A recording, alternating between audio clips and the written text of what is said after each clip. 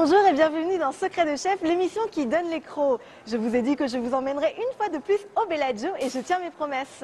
Pour ceux qui n'ont pas regardé l'épisode précédent, c'est un restaurant de cuisine taïwanaise. Le chef Cho nous accompagne dans l'épisode d'aujourd'hui pour réaliser une création de ce restaurant, le beignet farci à la crevette et au poisson avec sa salade d'ananas.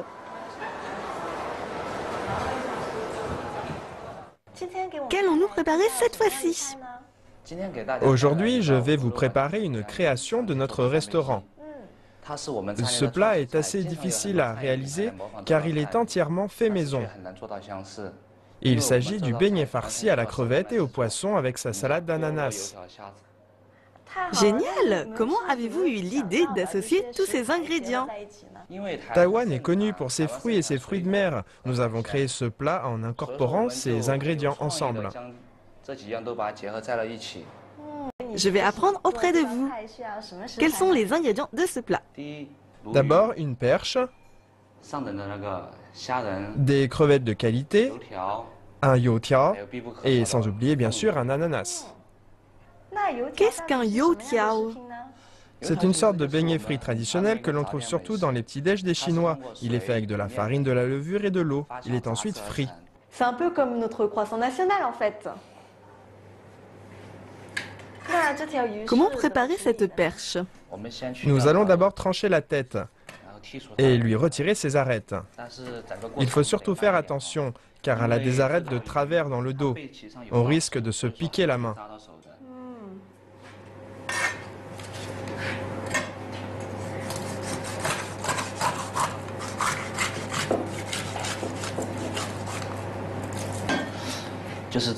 À cet endroit-là, il faut faire absolument attention à ne pas se blesser en désossant. Je comprends.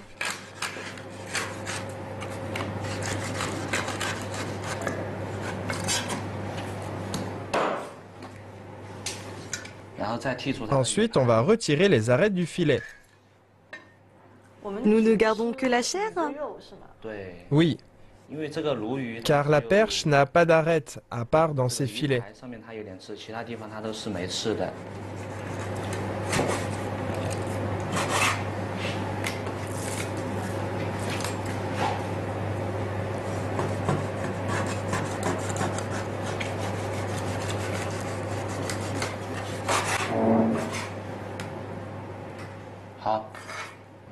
On va maintenant retirer la peau de poisson.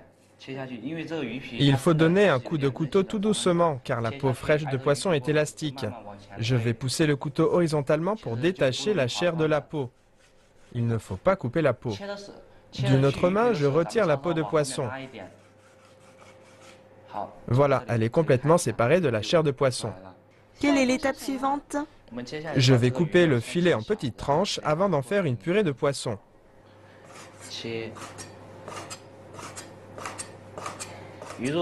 Séparé de la peau, le filet est facile à couper.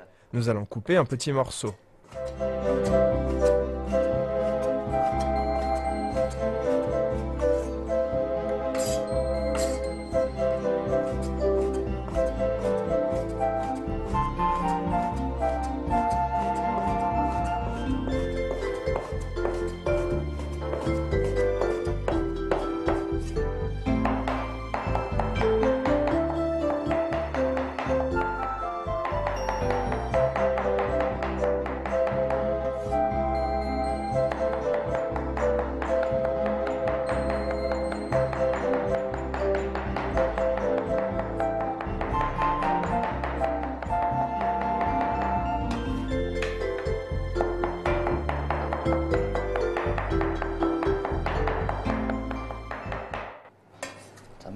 Nous mettons la purée de poisson dans un bol. Il faut couper très finement. Il faut aussi couper les crevettes C'est inutile. Nous allons farcir la crevette dans le beignet. D'accord. Maintenant, nous allons assaisonner la purée de poisson. D'abord un peu de sel, Quelle quantité? Une petite cuillerée. Ensuite, une cuillerée à soupe de fécule de maïs. Un peu de bouillon de poule. et de poivre blanc. Il ne faut pas mettre trop de poivre blanc. Ça ne sert qu'à parfumer.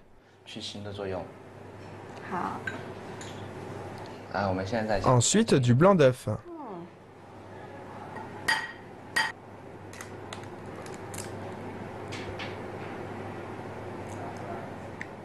Vous n'utilisez pas de jaune d'œuf? Non, que du bœuf. Cela permet de rendre la chair encore plus tendre. On va ensuite bien les mélanger.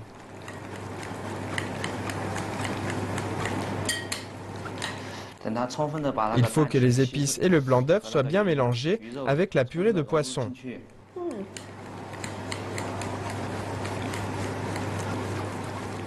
Une fois bien préparée, nous la mettons de côté.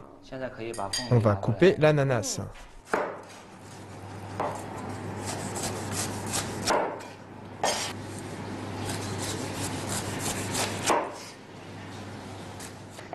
Quelle est la particularité de cet ananas C'est différent.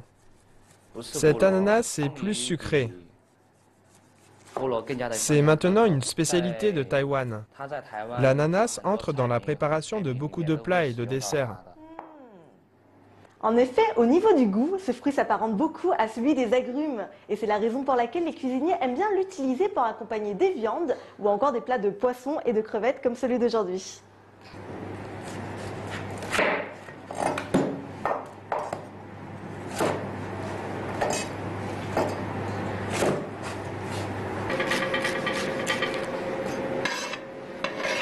Nous allons enlever le cœur de l'ananas qui est assez dur. On va le couper en dés de la même taille qu'un beignet. Il faut donner 4 coups de couteau. 3 et 4. Ce n'est pas beau si le morceau est trop petit.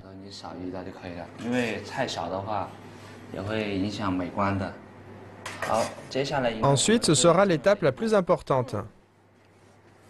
C'est quoi? Farcir le beignet.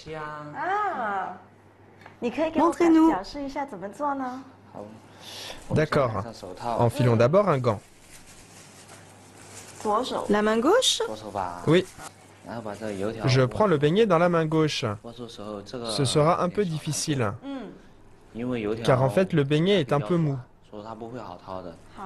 Je vais d'abord mettre une baguette dedans.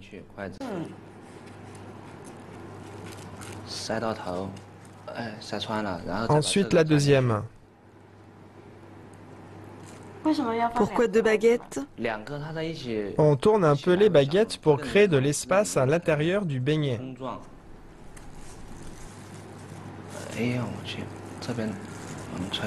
Comme ceci. Ainsi, nous pourrons ensuite farcir le beignet avec de la purée de poisson. Super, vous me montrez d'abord.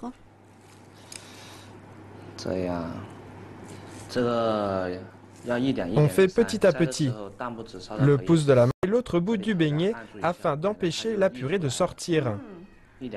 On répète l'action 4 ou 5 fois avant d'y mettre une crevette.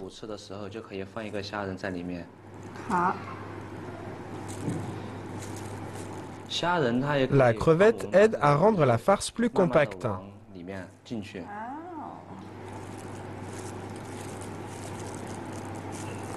Je peux essayer? Bien sûr. Avez-vous mis le gant? Je l'ai. Voici pour vous. Je vais m'y mettre aussi. Je peux utiliser cette paire de baguettes? Prenez l'autre paire.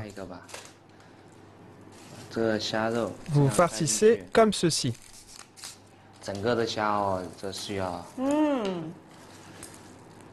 Bon. Je vais prendre un peu de purée. Voilà, comme ceci. Très bien. Comme une vraie pro. Vous apprenez vite. Quand est-ce que je rajoute la crevette? Oui. Quand vous rajoutez la crevette, vous faites bien en sorte que la farce à l'intérieur soit bien compacte. On va mettre une petite crevette à l'intérieur. Alors attention technique, il ne faut pas casser le yotia. Ah zut, je l'ai cassé. Non, ça va. On prend bien le beignet en main et on commence par la tête de la crevette. Car parfois la crevette est un peu grosse. Il faut qu'elle soit droite pour entrer plus facilement dans le beignet. Ah, j'ai compris. Très bien. On va mettre encore un peu de purée de poisson pour bien couvrir la crevette.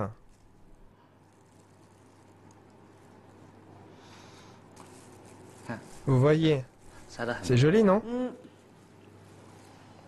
Nous commençons maintenant la friture.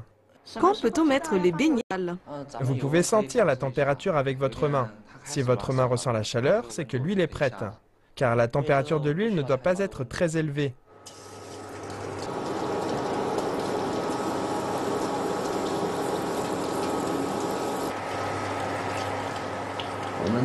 Nous les tournons un peu pour pas qu'ils ne brûlent. Combien de temps? Ça dépend de la température de l'huile. On peut en avoir une idée selon la quantité des bulles. Avec cette température-là, 3 ou 4 minutes suffisent. C'est rapide. Oui. Nous avons utilisé beaucoup d'huile aujourd'hui. Que faire du surplus d'huile? une simple friture n'altère pas l'huile. Une fois refroidie, elle est toujours prête pour d'autres usages.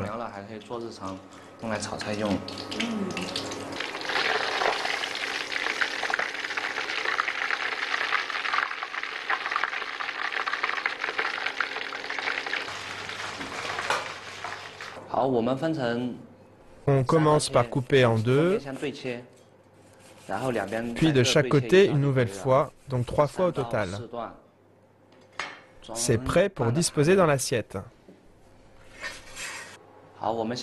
Maintenant, nous allons mettre les morceaux d'ananas avec les beignets farcis, le tout dans un bol, avant d'y mettre de la sauce de salade. C'est la même chose que la mayonnaise? Oui, c'est de la mayonnaise avec du sucre. Ça rend les beignets farcis plus savoureux. On touille un peu pour que les beignets soient bien enrobés de mayonnaise. Maintenant, on peut mettre sur l'assiette.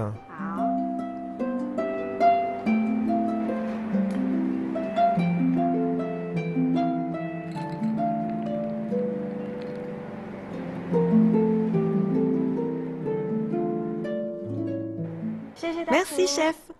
Je vous en prie. Et voilà, le prêt d'aujourd'hui est prêt. Allons goûter. Je vais maintenant goûter le beignet.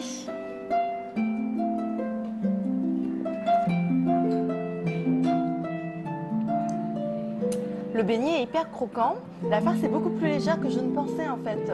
Mais le poisson se marie très bien avec euh, la crevette. Ça se mange tout seul. Maintenant, je vais goûter à cette fameuse variété d'ananas.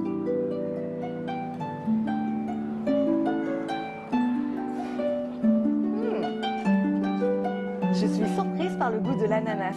Le fruit est très sucré, on ne ressent pas du tout le côté acide. En tout cas, c'est un mélange parfait de saveurs et d'harmonie.